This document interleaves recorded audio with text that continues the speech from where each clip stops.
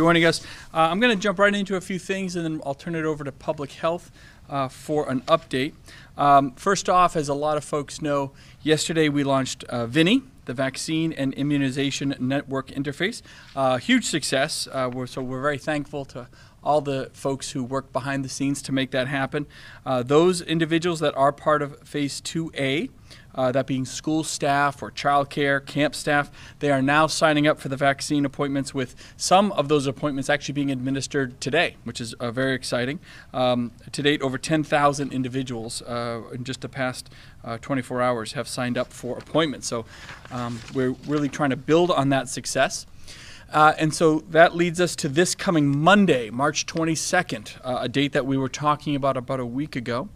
Any New Hampshire resident 50 and older can sign up through VINI uh, to get their vaccine appointments as part of Phase 2B. So we're already going to have the next phase. We're rolling right into it. 2B re- registration opens up this coming Monday, March 22nd. Uh, right now, the system is loaded with about 200,000 first dose appointments through April. It's a huge number, uh, so folks shouldn't worry about having to be just the first one in line. There's going to be plenty of room uh, for everyone, but it does start this Monday and available for anyone um, who is looking for that appointment. And then as more vaccine becomes available in the coming weeks, we'll keep adding more appointments so folks can even move themselves up to a more um, you know convenient date if, if they so choose. Um, and assuming all goes well with the registrations as part of phase 2B after the 22nd, uh, we do plan on expanding vaccine access to all of our citizens, 16 and older, uh, in just a matter of weeks. So we don't have a firm date on that yet, but it really is just weeks away that any citizen, adult citizen in the state of New Hampshire, uh, will be able to go to VINI and sign up uh, for their vaccine uh, as well. So uh, things are just progressing very, very quickly here in the state. Great job by our, our entire team. Um, and again, as we continue to vaccinate folks, uh, we get closer and have more ability to do everything from ease up restrictions uh, and really hopefully put COVID in the rearview mirror sometime in the near future. Um, you know, we've always said he should plan for a good summer, and I, I was still very much on track for that.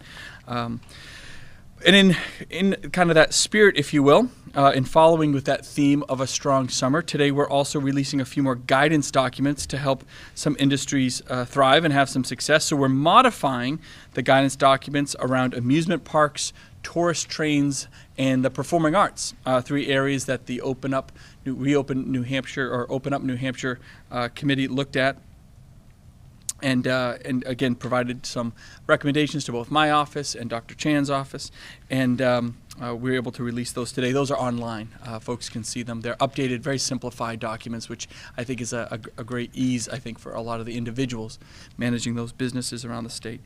Um, I also want to go over some details about the 1.9 trillion spend, dollar spending bill uh, recently passed in Washington. There's a lot of a lot in this bill that we've been working to unpack, and this is just I'm just giving a kind of a brief smattering of some of the financial opportunities that we've seen come out of this. Um, ultimately, what has been defined in the bill still has to have guidance documents and kind of the rules, if you will, around the, the details of the spending. Uh, that comes from the U.S. Department of Treasury. And so we still haven't seen any of that yet. But uh, what we have been able to discern so far at a kind of a 30,000 foot level is approximately $966 million uh, just to the state. So that's a, a, huge opportunity. An additional $457 million to cities and towns and counties. Um, $122 million in critical capital projects. And again, figuring out exactly how they're going to define critical capital projects versus other capital projects. Some of that still remains to be seen. About $350 million to our schools. And again, how that money can be spent. Will it come in the traditional uh, funding mechan mechanisms and, our, and appropriations that have they have come in the past? We're, we're still not completely sure of yet. Uh, but that's obviously another huge opportunity for, for uh, dollars into our school system. Um, and then approximately, it's hard to ascertain, they haven't really determined the formula yet, but approximately $100 million or more to things like vaccines and testing and contact tracing, uh, things that we really rely on um, in working with the Department of Health and Human Services to manage uh, the healthcare aspects around the COVID crisis. There's a lot more money in this bill for the state of New Hampshire. There's no doubt about that. The stimulus checks, which have started to roll out, a lot of folks are seeing uh, direct deposits into their accounts this week. Um, the unemployment uh, stipends that come on top of our traditional unemployment opportunity.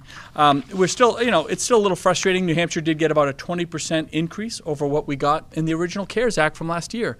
But states like California got a 270% increase. So the unfair kind of distribution of the funds is still a little bit frustrating. But as you can see here, there is definitely a lot of uh, financial opportunity for the state. Um, I've been working with the, the legislative leadership, uh, kind of in collaboration, to really unpack this, understand what how this money could be spent, um, whether certain dollars go into a bill, whether it goes to fiscal committee, what it might look like. Certain dollars will probably run directly through GOFERR, uh, which we still have. GOFERR will be there to ensure accountability and transparency in this entire process. They've done a great job with that so far, um, and allow some of those dollars to flow directly and quickly to Health and Human Services, uh, so they can react uh, more more um, nimbly to the COVID crisis. Uh, but with all the capital potential, the one time capital projects, and the money that could come out of this, working directly with the legislature is going to be a key aspect. Um, and the one thing I will say is those discussions have all gone very, very well. And we all agree this is a huge opportunity for a good one time investment that can help decrease costs and property taxes for our citizens. So, whether it's a clean drinking water project or a wastewater treatment plant project or broadband infrastructure, lots of different things that this money can be spent on. But uh, it's one time money. And so we want to make those investments not just for today, but investments that will be long lasting and help really reduce the cost and the burdens uh, for our citizens. And as we said, this is just kind of a smattering of the opportunity. Uh, we know there's going to be a lot more um, uh, a lot more to come potentially out of this bill. Really depends on those guidance documents. So as soon as the Department of Treasury releases those, we'll be back and talk a little bit about uh, how those guidance documents look like, the timing of this. That still remains to be seen. But these dollars will be spent over a period of a couple of years. This is not money to be spent tomorrow probably this year and next year is how they'll roll this out. So um, there's going to be a, a, lot of opportunity out there. Uh, lastly, uh, a few weeks ago, uh, just to, to jump uh, and then we'll open up for, for the public health update with Dr. Chan. Um, I did call on uh, Department of Health and Human Services to assess the operations and infection control practices at the New Hampshire Veterans Home, which unfortunately, as many folks know, experienced uh, one of our most severe COVID outbreaks last year. Uh, over the last few weeks, the New Hampshire Department of Health and Human Services Healthcare Associated Infections Program and Congregate Settings Investigation Unit I know that's a mouthful, uh, but they worked w- directly with uh, the staff at the Veterans Home at a variety of different levels per, and, and, provided recommendations um, after performing an on site infection control assessment of that facility. Uh, the, assess- the assessment they conducted utilized, here's another mouthful, bear with me, the CDC Nursing Home COVID 19 Infection Control Assessment and Response Tool Facilitator Guide. Uh, brevity is not a common thing in Washington, apparently, but um, uh, these uh, uh, kind of the assessment document and guide.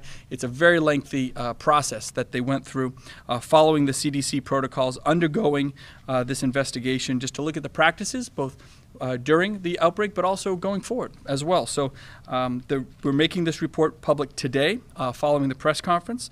Um, and again, their charge was really to provide suggestions on how to make the, the veterans home prepared for any of the next potential challenges uh, not just through the COVID outbreak, but uh, making sure that long term uh, things are in, in place uh, just for the protection of their workers and, uh, and their residents. Um, some of the highlights. Here's just some brief highlights. Again, the, the detailed report will be provided today. Um, testing supplies were not an issue, and overall testing went very well with minimal delays. N95 mask supply was not an issue.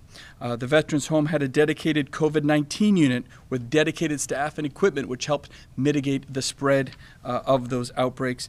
Uh, they followed the correct, correct screening procedures as folks were coming and going uh, from the facility. So uh, those uh, issues really did work. Um, overall, it was a very positive report which is great. Um, but like many facilities a- across the country, there were some issues. Um, that we know that during that nationwide gown shortage, if you remember, no one could find gowns.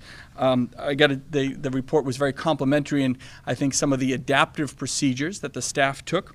Um, while they did not have uh, gowns and some of them had to be reused, things of that nature, but they did it in a way to minimize the contamination risk. They did a very good job with that. Um, and while there was a, an adequate supply of PPE, um, we talked about the staff needing better training on how to properly utilize PPE and empowering others to do so as well. So it's really kind of the training tools that we want to make sure are, are up to speed uh, for everyone uh, that is working both on the floor and administratively uh, within that facility. But all in all, it was a very comprehensive review of the practices and the protocols of the Veterans Home. Uh, we just want to thank everybody that was involved with that review um, uh, from the top down, uh, and we will make the re- full report along with the review process they undertook from the CDC public. Um, following today. with that, we're going to swing right over to Dr. Chan and the team for the public health update. Great, thank you, and good afternoon. Uh, we are reporting 347 new people diagnosed with COVID 19 uh, in New Hampshire. The average number of new infections per day over the last week has increased slightly uh, to around 200 250 to 300 uh, new infections per day, and so the active uh, case count, the active the number of people with active infection, is currently 2,340. Uh, our test positivity rate has also uh, been stable and hovering right around 3.5% the last week or so. Uh, the, the, last, uh, the most current average is at about 3.6% of our antigen and PCR tests combined um, have uh, been positive for COVID 19. And the current number of people hospitalized is 75. Unfortunately, we have five new people to report that have died from uh, COVID 19 today, bringing the total number of deaths related to COVID 19 during this pandemic in New Hampshire uh, to 1,207. Uh, in the last week, the last seven days, there have been 16 people in total that have died from COVID 19 in New Hampshire. Um, I, I want to um, note that most of these deaths, the majority of these deaths, about 80% or so, uh, are actually occurring in community settings and not long term care facilities. Uh, and so I think the effectiveness with which we have rolled out vaccine to our long term care facility residents and staff um, is having an effect. Uh, but we know that there remain vulnerable individuals in our communities uh, who are susceptible to COVID 19 and the severe complications of COVID 19, including uh, the need to be hospitalized and, and, even dying from disease. And so we now have three vaccines uh, at our disposal that we are rolling out. All three of these vaccines are uh, very effective at preventing symptomatic disease, symptomatic COVID 19, and very effective at preventing severe disease, hospitalizations, and deaths. And so I want to continue to strongly recommend and encourage people uh, to take the first vaccine available to them, the first appointment that is available. Uh, and we are looking to try and rapidly increase um, the number of needles that we put into arms. Um, and I want to stress again that until we have um, a much higher level of vaccination in our communities, we continue to need everybody, including people that are vaccinated, uh, to practice social distancing. Uh, wear face masks, well fitted face masks when in public locations, continue to avoid the um, larger group gatherings. Um, and if anybody has symptoms, even if they uh, have prior immunity or protection from a previous infection, or even if they have immunity from vaccination, uh, people that are symptomatic should still seek out testing uh, as one of the ways to identify transmission in our communities. And with that, I will hand things over to Dr. Daly. Thank you.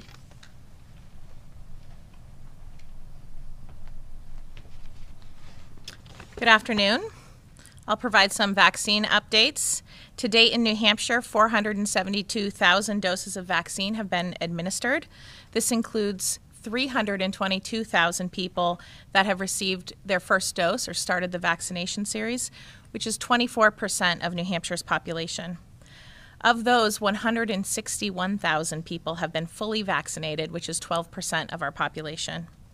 In the last week, we administered more than 60,000 doses of vaccines in our state, including both the first and second dose, doses. And then this week, we received 34,020 first doses of vaccine. This does include a very small amount, about 1,600 doses of the Janssen Biotech vaccine. We expect to receive a similar amount of vaccine next week. Our Phase 2A regional vaccination clinic started last Friday on March 12th, and to date, 31 regional clinics have been held with 6,500 people in Phase 2A vaccinated. An additional 36 regional clinics are scheduled through the end of March, with plans to vaccinate another 20,000 people through these regional clinics, and more regional clinics may be added as well. Phase 2A people who were not invited to one of these regional clinics were able to begin registering to get vaccinated at a state or hospital run site yesterday. Around uh, 10,000, over 10,000 people, have you heard, have booked appointments. People working in any of these settings, this is the K through 12 schools, our childcare facilities, and youth camps, should register to get vaccinated if they're not attending a designated regional clinic. There are plenty of appointments available for everyone to get vaccinated in this group. And again, as you heard, registration for 2B will open up on March 22nd at vaccines.nh.gov, and that's for everyone 50 and older. And we encourage all Granite Staters to get vaccinated as soon as they are offered the vaccine. Thank you.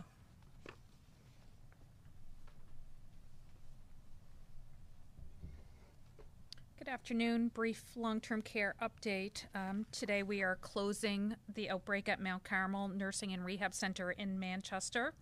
We are opening one new outbreak at Granite Recovery Centers in Salem. They have 36 resident cases and three staff. So currently we have five congregate living outbreaks. We have two in long-term care, one at a recovery center, and two in corrections. That's all I have. Thank you.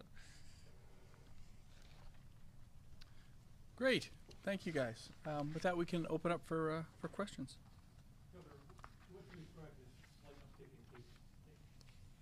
Um, I mean, I think we've seen um, for the last couple weeks, uh, especially in kind of that younger population, whether it's colleges or, or, or those areas of the community, as Dr. Chan said, you know, we have to be vigilant with uh, community spread. It's still very real. It can still very much affect folks. We have um, the majority, unfortunately, the majority of, of, any of the fatalities that we're seeing now are community driven, really not in, in, in long term care.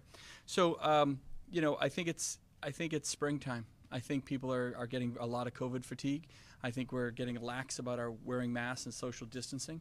Uh, we are not out of this yet. Um, I think what you're going to continue to see is a kind of a diverging of, of, the data. You're going to see, I've always said, we're going to have COVID in some level. Uh, for potentially some time, maybe forever. Who, who knows? Um, it's really about getting the, the hospitalizations and the fatality rate down, which which is continually coming down. That's all very good news. Um, but it's possible you see kind of COVID uh, the numbers of COVID bouncing around uh, for some time. Hopefully, within the, the younger, healthier uh, uh demographics that experience more asymptomatic or, or light symptoms, uh, if anything. And again, as the vaccine becomes more and more available, and we get through not just through Group 2B, but kind of that final group of everybody who wants one can get one in the next couple months, um, obviously we, we assume that those numbers will continue to drop. But that's all the more reason folks do need to continue to get their vaccine.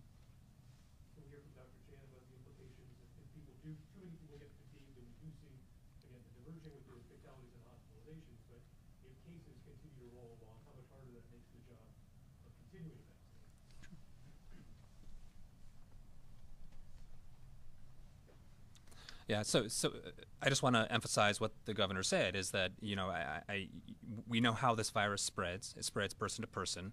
Uh, we know that it primarily spreads through a person's respiratory droplets, and so all of the measures we have at, at our disposal to prevent this from spreading uh, are, are, effective. We know how to prevent this virus from spreading person to person. Um, the, the, the struggle and the difficulty is, um, you know, more than a year now into this pandemic, getting people to continue to practice the social distancing, uh, to wear the face masks, to avoid, you know, larger group and social gatherings. Right? I, I mean, this has been a long, a long response and a long pandemic.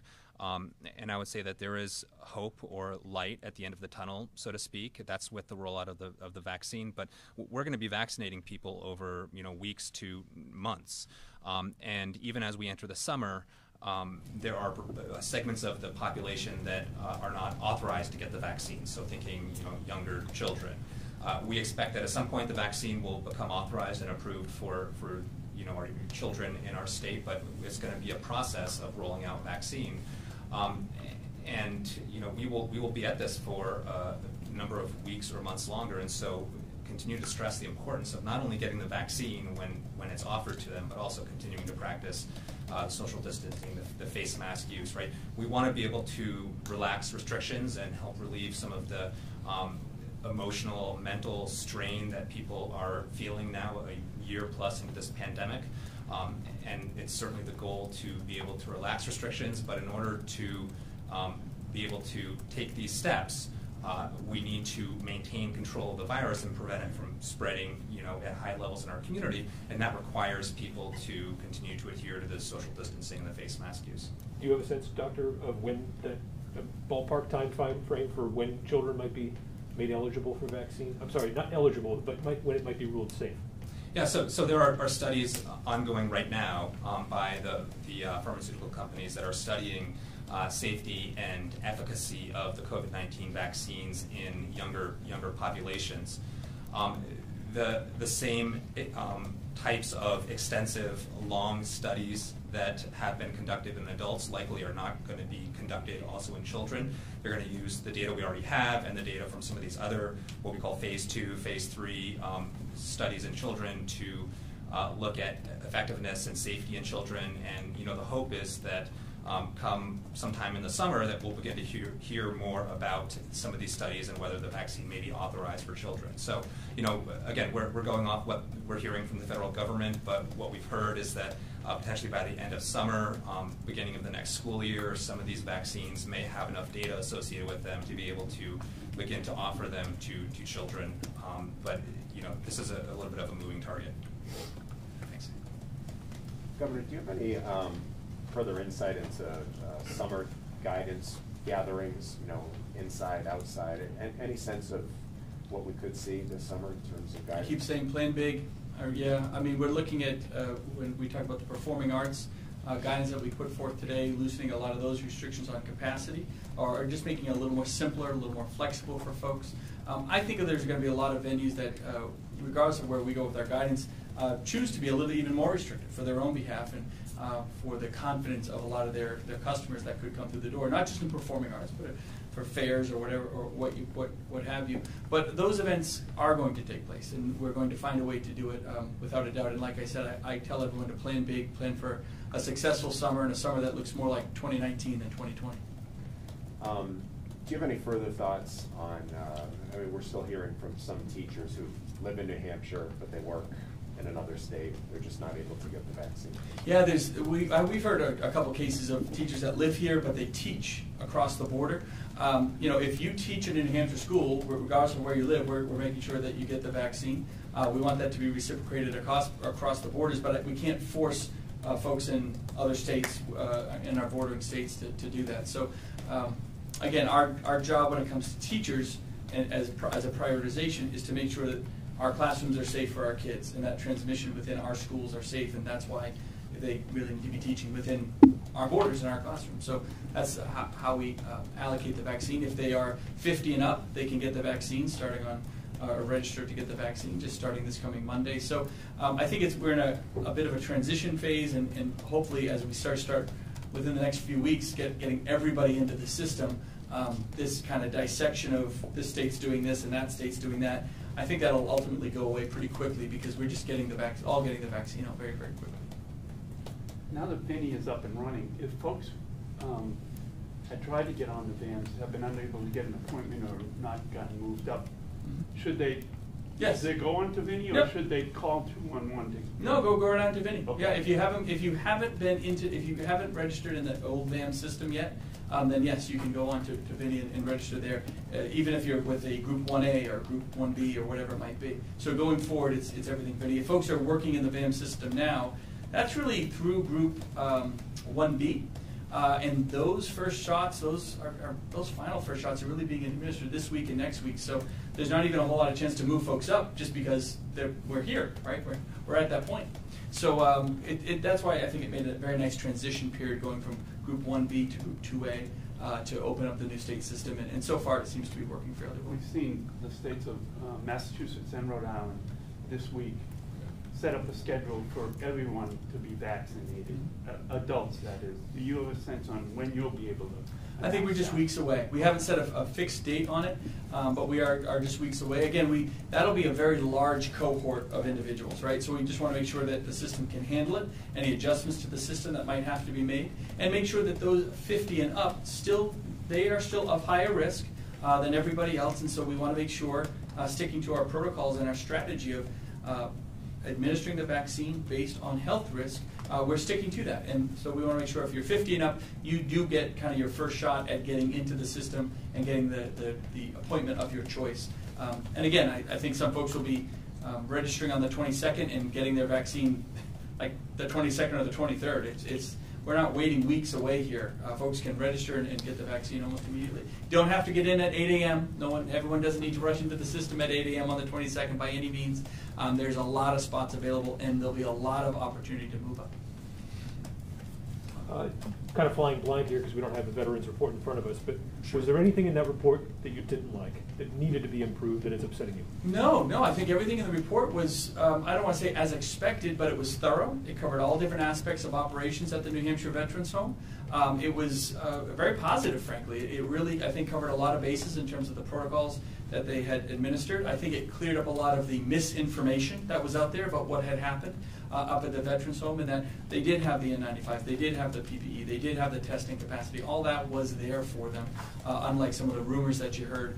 Um, and when it came to, when it came to making sure that they're fitting their PPE appropriately, you know, there's some recommendations around that.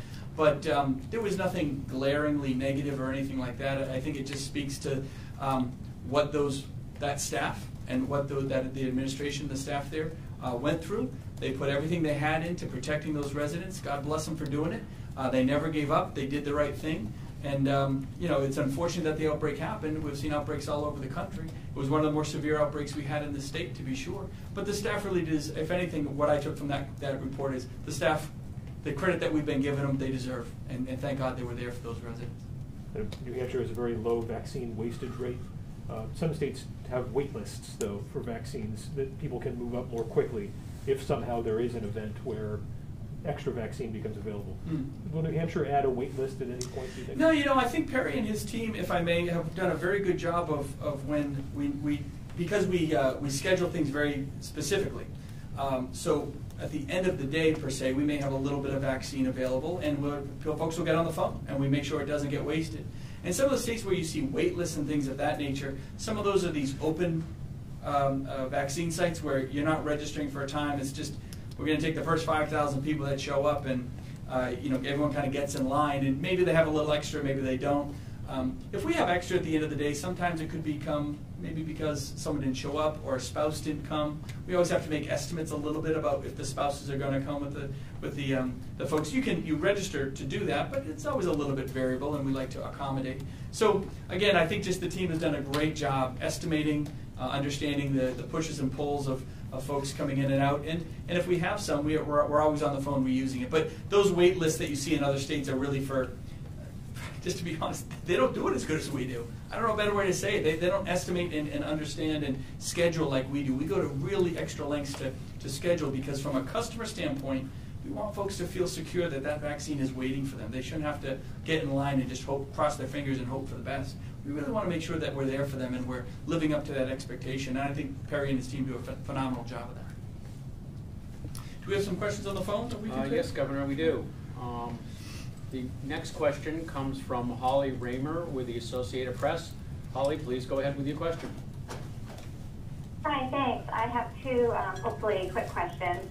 Um, you talked about the, the diverging numbers and the expectation that the number of cases might remain stable, but hospitalizations and deaths will decline. Uh, but I noticed that the hospitalization number went from 66 on Tuesday to 79 yesterday. Is there any insight about that increase, or was that just a, a blip?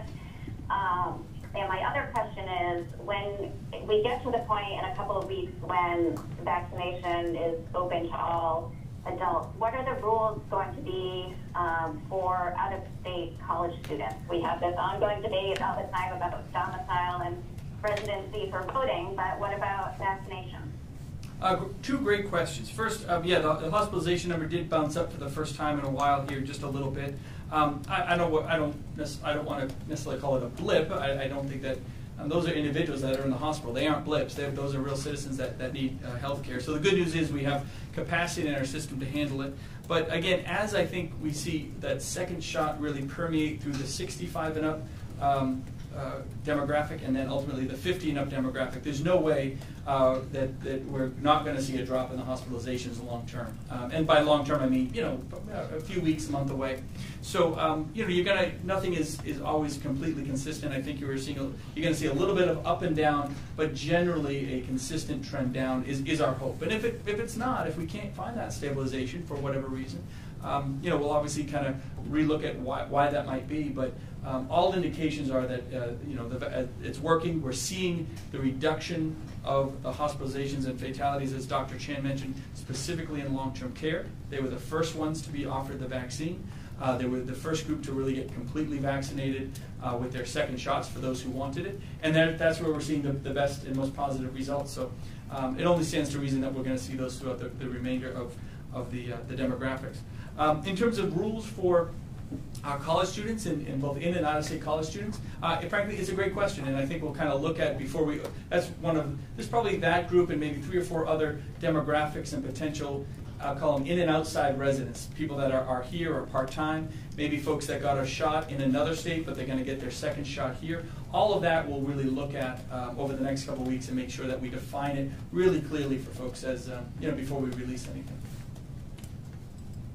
The next question comes from Nancy West with In-Depth New Hampshire. New Hampshire. Uh, Nancy, please go ahead with your question. Yes, thank you, Governor, for taking my question. Um, I have three. And the first one, we've been getting a lot of reaction to the proposed merger of the two college systems. And I know we published an op-ed piece by former trustees who said merging of the two boards and governance, governance functions will result in a consolidation that will ne negatively impact the effectiveness of both of our vital higher education enterprises. Now, I guess my question would be, um, why did we wait so long to tackle this issue, and now it seems like a hurry up and wait? And are you going to restore the 17.5 million to the, both systems' budgets this year when it seems like they need more money? I have a couple more. Do you want me to? No, let, let, me. Yeah, Nancy, let me take that one if I could. So I did see that letter from the former trustee, some former trustees of the community college system that are not uh, in favor. Um, to be very blunt about it, I guess I expect that reaction from folks that that were in the system years ago, and that aren't really on the front lines of how the both systems have transitioned and need to transition just over the past, not just through COVID, but maybe the last two or three years. So um, I, I, I, get it. I can appreciate those those sentiments, but they're not on the front lines. They aren't seeing what the faculty, the students, and the current administrations in both of the community college and the university system are seeing a paradigm change, a completely different change in, in decision-making processes um, that has to be acknowledged. You cannot kick the can down the road anymore. To your to your point, um, this is something that folks have talked about. We have to have the courage to go in and do it, and it's Republicans and Democrats on both sides of the aisle, they all agree that this can be done, it should be done. It's a better process for the students, it's a better process for our system with synergies and, and, and not just cost savings, but um, synergies of, of the back end systems, if you will, credits transferring, ultimately providing real choice for those individuals and those kids going through um, going through that, that process. It's just a better product at the end of the day. Uh, and so I'm still very, very confident that, that, it, that it will get done. Um, go to the next one, Nancy. Okay, the only other things I wanted to ask you about are, will you have final say over where the state dollars are spent that are coming in through this new stimulus program, as you did with the CARES Act, or will there be uh, some authority granted that, or with the Legislative Fiscal Committee, or the Executive Council, or will you have that final authority again. The only other thing, I would love it if you could um, talk a little bit more about these modified guidances for amusement parks and tourist trains. Will they be back to 100% or, or roughly what will that mean? Sure. So um, in terms of the CARES Act, when it was released, you know, first passed in March and April of last year, that's when we were in the crisis emergency mode. We still have an emergency to be sure, but we're not in that crisis mode. Um, and the legislature is in session, and uh, I feel very confident the legislature uh, is going to have a lot of say in how the vast majority of these funds are spent. I think GOFERR and HHS will still spend the, the kind of that critical care uh, dollars when it comes to vaccinations or testing or things of that nature. Um, but the, I think the vast majority of the money we're seeing to the state uh, will go through a legislative process. It could be through the fiscal committee. Uh, a lot of that will ultimately go through the executive council and have that checks and balances with it because it's not directly attached to the, the crisis of the moment. So much of this $1.9 trillion spending bill had nothing to do with COVID. And so if those dollars come through, we'll make sure that, that um, you know that those checks and balances are there because they're not in a crisis mode. They're really in an opportunity mode for our citizens. Oh, and as for the uh, the guidance documents, again, they, I believe they're all online now, so you can see the details online. Um, it doesn't open everything to 100% capacity, but it addresses some of the issues of uh, where social distancing and masking really needs to be, um, you know, adhered to uh, to ensure that uh, in a closed atmosphere or a, an atmosphere where multiple groups are getting together uh, within uh, close proximity, that we're still maintaining the distancing um, that we need to. And sometimes that, that still may result in, in limited capacity or less than 100% capacity. But all those details are online for you to check out.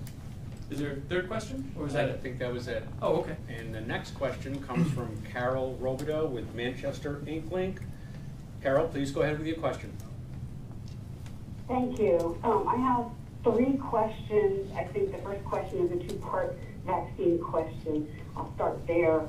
Um, and maybe this is for uh, Dr. Chan, but when vaccines were first rolled out in about mid-December, uh, there was talk that the efficacy rate was not known past 90 days.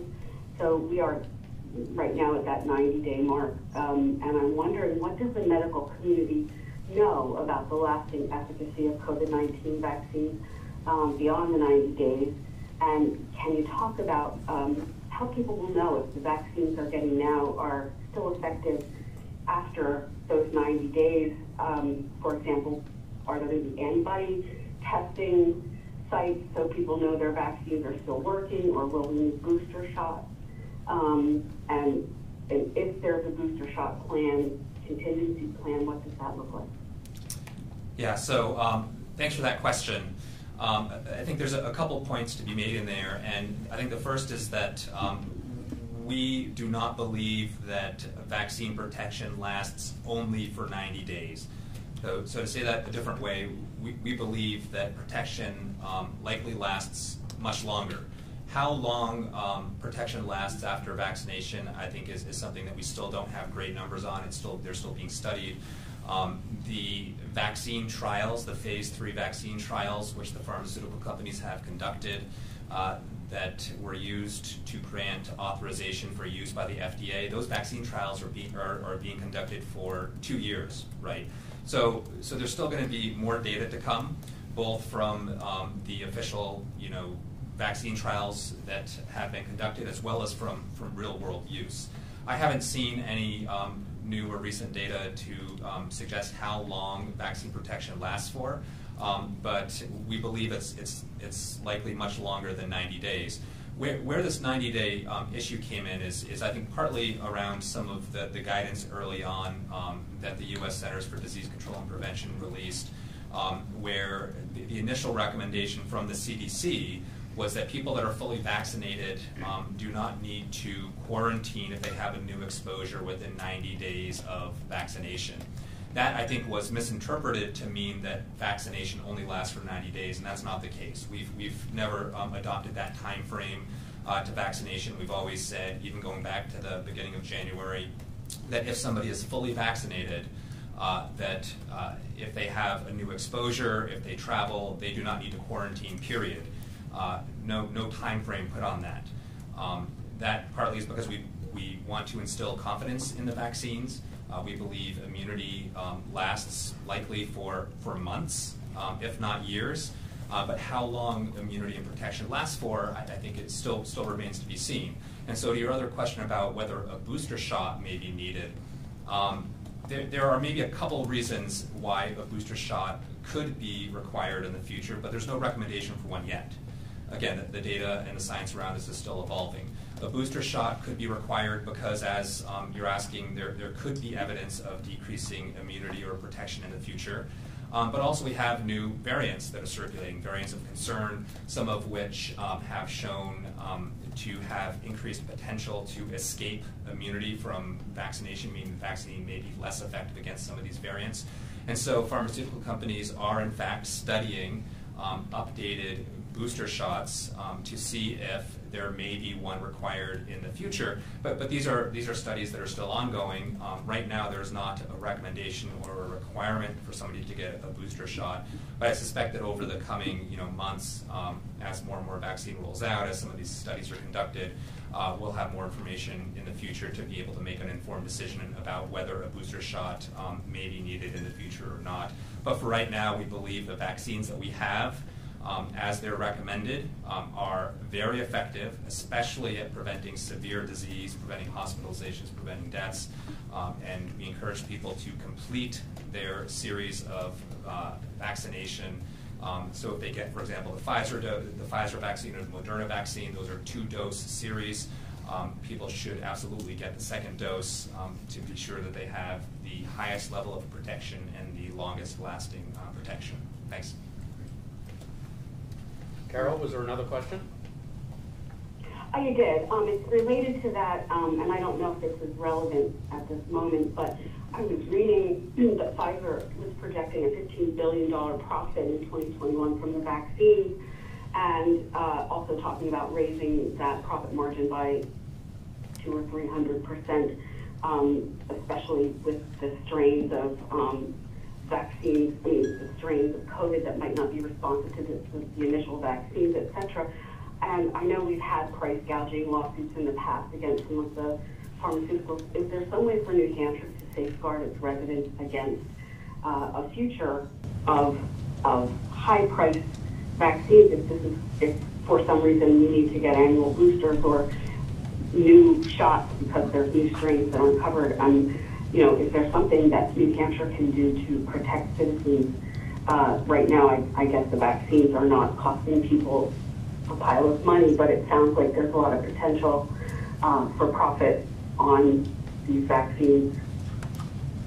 Yeah, so. Uh, I have one more oh. question after that. Okay, so uh, let me answer that one real quick. The quick answer is, um, just to be very clear, citizens do not have to pay for vaccines. The citizens, it, it, I mean, other than through the, your tax dollars, but the federal government is providing the vaccines and providing uh, all the costs around that and, and allowing the state, providing some dollars to the state for the administration and whatnot. So I just want the citizens to know, you, you when you sign up, you, you do not have to uh, pay for vaccines. If down the road, uh, you know, if a yearly vaccine came up, um, whether it was with insurance companies, whether it was with on the citizens, and if there was price gouging, of course, we would always protect the citizens' um, interest when it comes to price gouging, whether it's on pharmaceuticals or, or frankly, almost any product that, that's out there. So um, we have we have a you know kind of a bureau that, that looks into that stuff and there's a lot of different avenues you can take depending on the situation. But luckily that is not the situation today. I don't i can't respond to anything having to do with their profit margins. We, i don't know anything about that but we'll protect any price gouging that that pot- would potentially happen in the future around this issue. And Carol, your third? Okay, this one, um, this one is for all my friends in the downtown area who are operating bars and restaurants that have music capacity but are not, or music capabilities but are not able to have live music or uh, live music beyond like a single acoustic person or something like that and capacity issues. And I know there's been some relaxation of some of the guidances. Um, I don't know if you've talked specifically about these venues that don't necessarily have an outdoor setting but have indoor uh, capacity. What does that look like for the near future? Do you well la- yeah last week last week we allowed small live bands yeah we, we made that that uh, Okay. that flexibility in the rules uh, a Um, week ago But, what- but what's, was there, what's the capacity of, um, of, uh, the restaurant still restricted to six foot or is it three foot? Uh, so in terms of the, the patrons at the restaurants? Sorry. Mm-hmm. Yes, I mean, Yeah. the, the, capacity within the individuals in the restaurant still stays as it is. You can have up to 100% capacity, but you have to have six feet between the parties and whatnot. And we did provide some flexibility for the bar areas and things of that nature. And then on top of that, we provided some flexibilities to have, I believe, up to, you know, small three-person bands and, you know, making sure that there's a safe distance between the bands and the individuals. Um, we did have issues around karaoke and karaoke and singing, but we've, we've been able, in working with Dr. Chan and his team, I think did a great job providing uh, uh, the ability to allow that to happen in a safe in a, in a safe way with uh, some some distancing between the performers uh, and the audience itself. And the next question comes from Michael Graham with New Hampshire Journal. Michael, please go ahead with your question. Yes, I have 11 questions. I'd like them answered alphabetically. No. I'm ready. Let's let's do it. Uh, Hey. no, no, just one. Just one.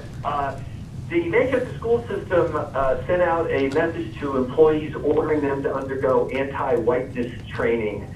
Uh, they then rescinded it and said it was merely a suggestion after questions were asked. Uh, the supporters of HB 544 that you promised to veto say this shows that people need protection from this kind of divisive, ideologically driven uh, encounter, specifically with government. And so the question to have is, since you uh, pledged to veto the bill, should government workers have to be called racist and bigots in order to keep their jobs?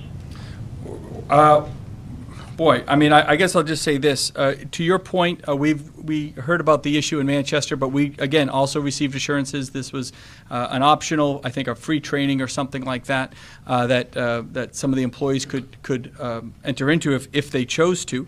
Um, you know, when it comes to this issue of um, divisive uh, discussion in, in classrooms and whatnot, I, I always am going to err on the side of I'm very cautious of big government getting involved, telling people what they can and cannot say. And that's why we're a local control state. That's the beauty of being a local control state. Um, if you, if as a parent, and I'm a parent of students, if there's issues of, of what's being discussed in the classroom, I always have the ability to talk to the teachers, to work with the school board, uh, and work at that local level to have a very strong voice. But when big government comes in and says you shall not say this and you shall not talk about that, um, you, that's a very slippery slope. It really is because um, you know one side might, might like what's being prevented from being discussed in a classroom today, and maybe the other side gets in control uh, down the road and they start putting uh, restrictions in. And next thing you know, we become a system and a government of, of really uh, oversight and, and monitoring every last word that comes out of uh, an individual's mouth, not just in the classrooms, but in the workplace. It's, um, it's a very slippery slope to start going down. I, I know it, for some folks, it's a, it's, a, it's a passionate issue, but I think the real answer is then the solutions are at that local level between parents, teachers, and administrators uh, and finding that, that pathway forward. And Governor, our final phone question comes from Ally Fam with New Hampshire Public Radio. Ally, please go ahead with your question. Thank you. So my question is that um, state data shows that Black and Latino residents are getting vaccinated at roughly half the rate of white residents. And a new report published by the CDC also shows the state of New Hampshire falling behind others other states in vaccinating highly vulnerable communities. So I'm wondering, does this signal a need for New Hampshire to adjust its vaccine equity strategy? Uh, yeah, the quick answer to that is, is no, but I'm going to turn to Dr. Daly. Um, I know she and her team have been right on top of this and doing a fantastic job uh, with the equity portion of, of making sure that uh, folks from uh, whatever their background, wherever they might live, um, have that equitable dis- distribution. But I'll turn it over to Dr. Daly for some details. So, thank you for asking this question. We think this is a really important topic. In terms of the data the department released last week for the first time on race and ethnicity distribution for vaccination, um, those data did show that uh, people who are white have higher vaccination coverage than people who are not identifying as white. However, when we analyze those data, that the population that we used to make that calculation was for all persons in New Hampshire in that particular group. It did not take into consideration who's actually eligible for the vaccine based on our vaccination rollout. So, for example, in New Hampshire, if you look at people over the age of 65, who's primarily who we're vaccinating in phase 1B, um, that population is more white. It's about 96% white. Whereas when you look at younger populations, like populations under the age of 18, they're 84% white. So, much more diverse younger population here in New Hampshire. And so, if you really wanted to understand what the uh, race and ethnicity um, vaccination coverages in our state, it would be important to take an age based approach to look at that. Uh, we didn't have that type of data available when we released the report, and we wanted to be transparent and provide what we did have, but we are certainly looking more closely. I suspect it could still show that there is vari- variability based on race and ethnicity, which is exactly why we have made a commitment to ensuring equitable distribution of vaccine. Which brings me to the report that you mentioned from the CDC, which they conducted an assessment looking at areas that are considered to be vulnerable and whether states are making good progress in reaching vulnerable populations.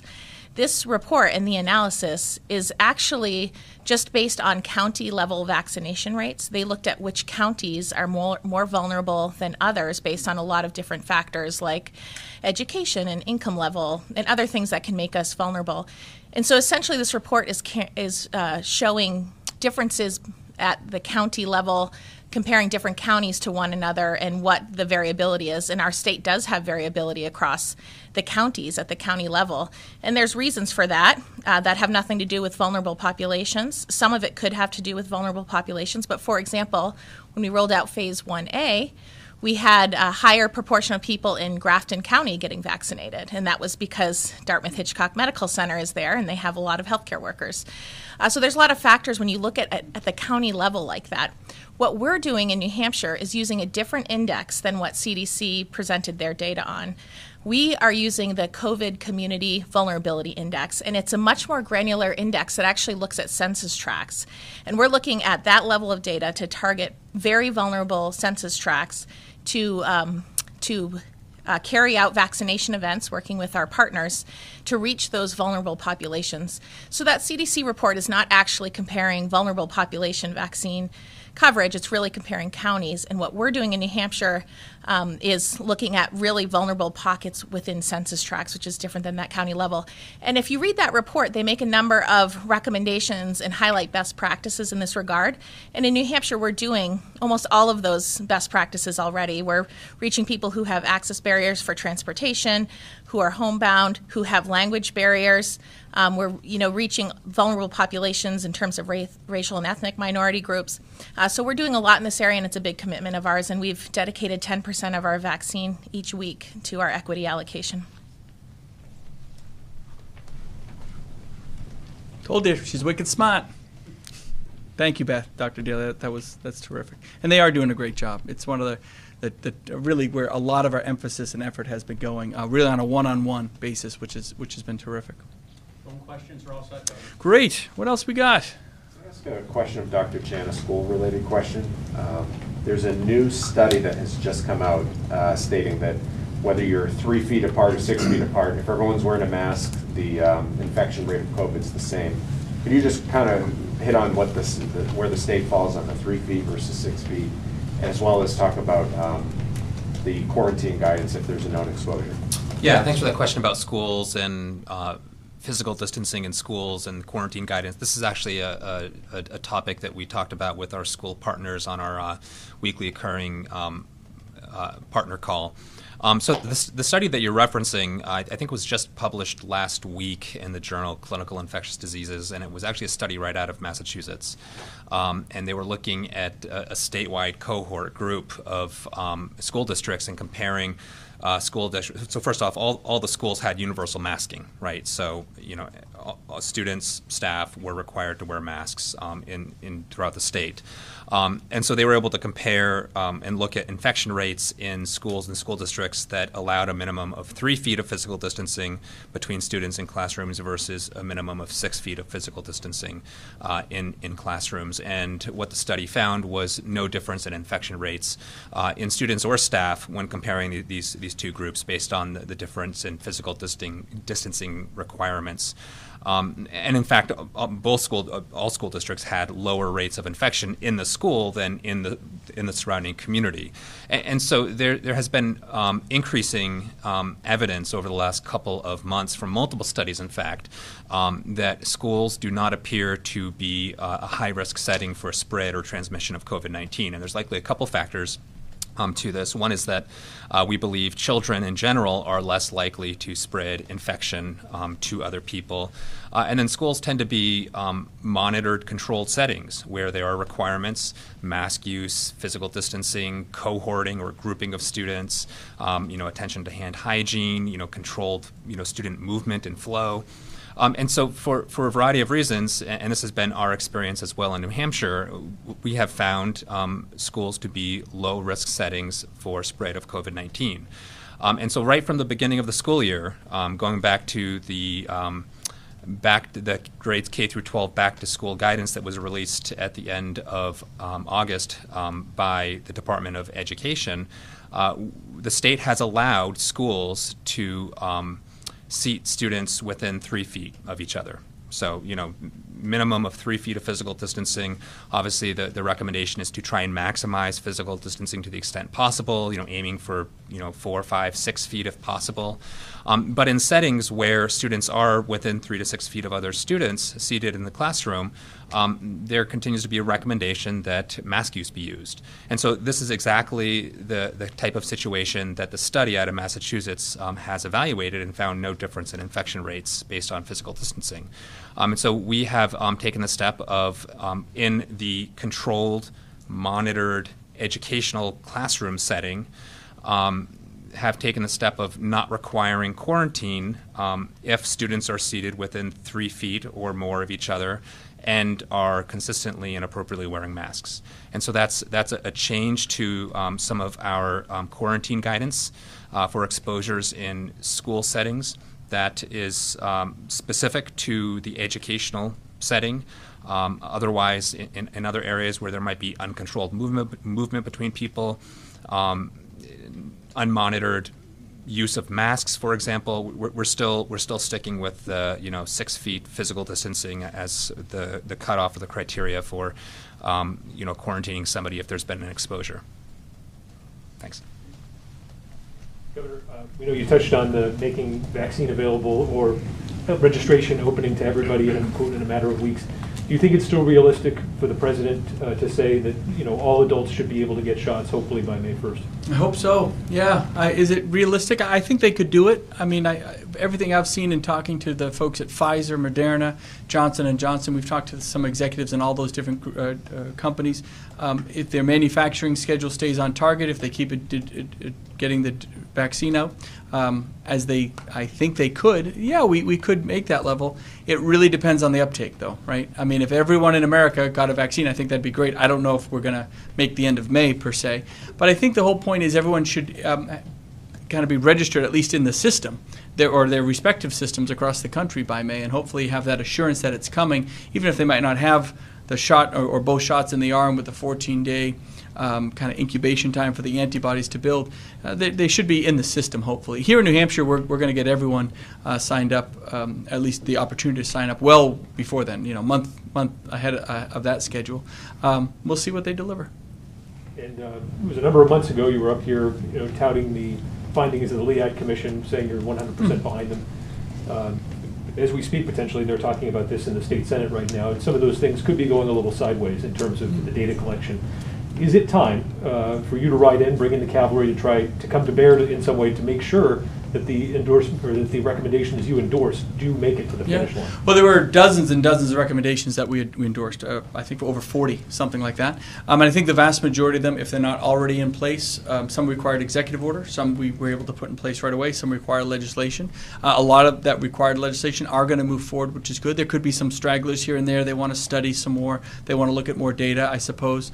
Um, I'm not sure where it'll ultimately end up, but uh, no, I think the legislature is doing a decent job of taking it all very seriously looking at the data, getting the testimony. I'm not sure what's going to come out of it. I know something will, and something will be sub- substantial, and um, it's all going to be for the good. Uh, and if something, if you don't get 100% of what you want in a piece of legislation, you don't just say, oh, well, I guess we didn't do our job. No, we're, we're talking about transformative issues here. I mean, really good stuff, uh, moving us uh, really where we need to be. And just because you don't get something done today doesn't mean you can't come back to it tomorrow and try again. So I'm not sure what the legislature is going to pass. I, I, know there's definitely a lot of positivity and positive momentum with a lot of these issues. Some might they might want to study or discuss some more, but we'll keep at them.